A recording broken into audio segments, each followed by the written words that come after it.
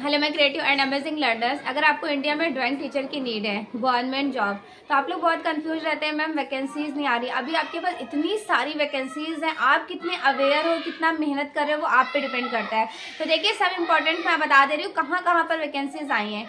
आसाम में आई हुई हैं। आसाम टीजीटी लेवल पर, चंडीगढ़ में टीजीटी का आया हुआ है। यूपी टीजीटी पीजीटी ऑलरेडी आप लोगों ने फॉर्म फिल कर रखा है। डी ट्रिपल एस बी की वैकेंसीज आई हुई हैं। तो इतने सारे वैकेंसीज हैं। सीट्स भी अच्छी खासी आपको एवरेज जितने भी वैकेंसीज हैं, सभी में आपको अच्छे खासे सीट्स भी देखने को मिलेंगे। तो अब इसकी तैयारी आपको कैसे करनी है? आप लोग पहले तो फॉर्म फिल कर दें। लास्ट डेट एट है। डी ट्रिपल एस बी का और एटीन मार्च है। चंडीगढ़ का, ठीक है? आसाम का भी अभी रिसेंटली आया हुआ है, उसका भी पोर्टल चेक कर लीजिएगा, सरकारी रिज़ल्ट डॉट कॉम पर। और अगर आपके पास वो पीडीएफ नहीं होगा तो आप मेरे टेलीग्राम से पीडीएफ डाउनलोड करके पूरी रिक्वायरमेंट हिस्ट्रीज देख सकते हैं। मैंने यूट्यूब चैनल पर भी पूरे इंपॉर्टेंट एक्सप्लेनेशन उनके शेयर किए हैं। अब आपको पढ़ना क्या क्या होगा?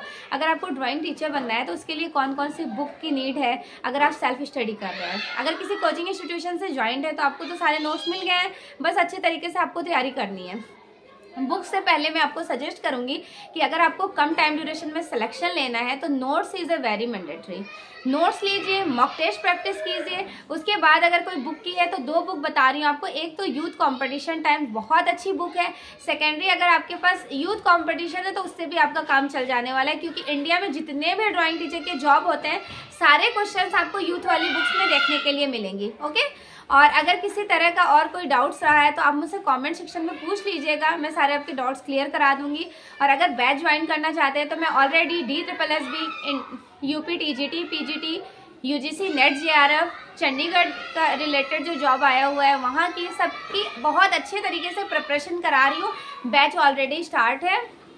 अगर कोई रिक्वायरमेंट है नोट्स की, या फिर बैच ज्वाइन करना है, अगर आपकी तैयारी बहुत अच्छी हो गई, आपको क्विज सेक्शंस में इनरोल्ड होना है कि मैं मॉक टेस्ट क्विज कैसे प्रैक्टिस करें तो क्विज क्लासेस भी आपकी होती हैं।